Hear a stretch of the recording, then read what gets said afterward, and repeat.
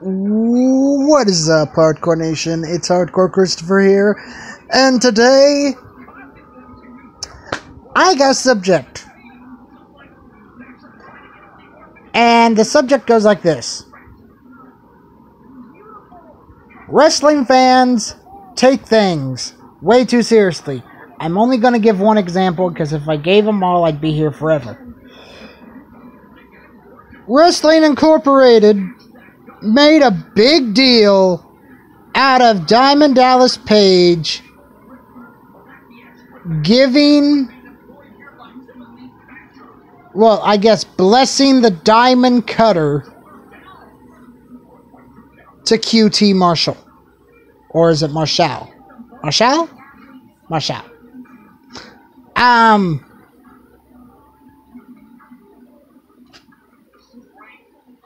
look, I'm going to say this, and then I'm going to get out of here.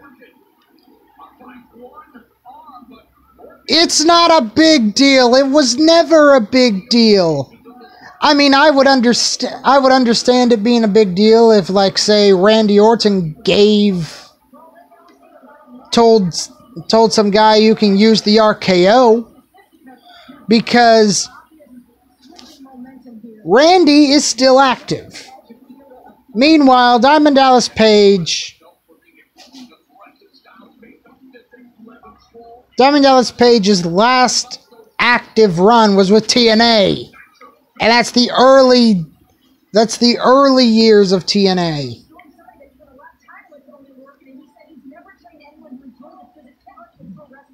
But Page has not been seen on television on a regular basis since really the Attitude Era.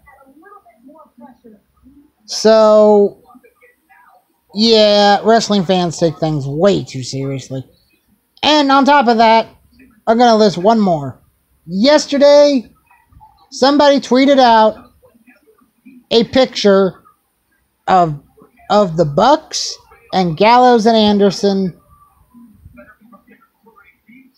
and that made the internet blow up. Why? Because the Young Bucks are the V are one of the VPs for All Elite Wrestling. But here's the thing. It would make no sense for Gallows and Anderson to work for All Elite Wrestling, not at the current moment. But I'll get into more more on that at, at another at another time. And everything wrestling showed me the uh,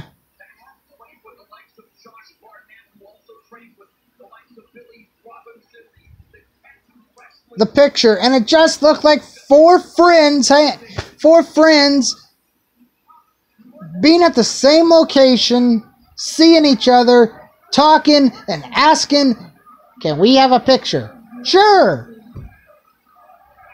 But yeah, wrestling fans take things way too seriously.